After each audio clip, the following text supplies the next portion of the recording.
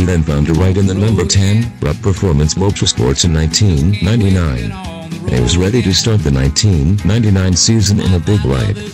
Unfortunately, his season was crap. Though 5 top 10s and 2 top 5s. His final standings placing was in 31st. This is Pingu in a number 10 car.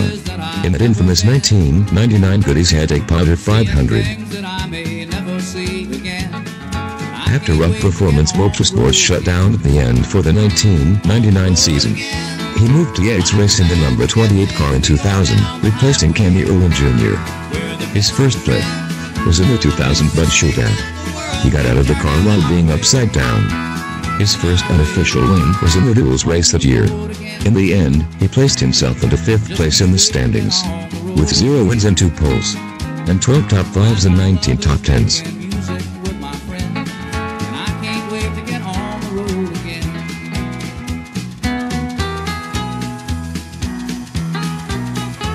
2001. He finally has his first win at the 2001 Pocono 500.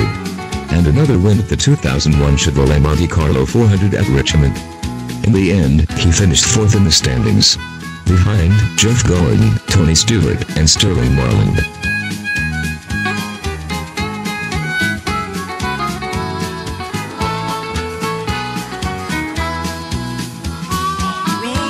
Two thousand two. He had another win at Sonoma. However he had a heated argument with some crew and the crew punched Pingu.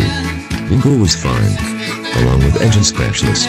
In the end, he finished 10th in the standings in 2002. Being again punched in the face for the second time in his career. He would look for another ride for 2003. After leaving Yates Racing.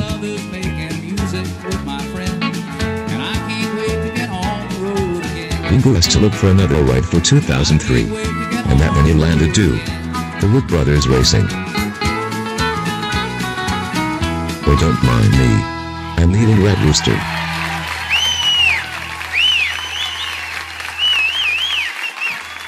All right, thank you very much.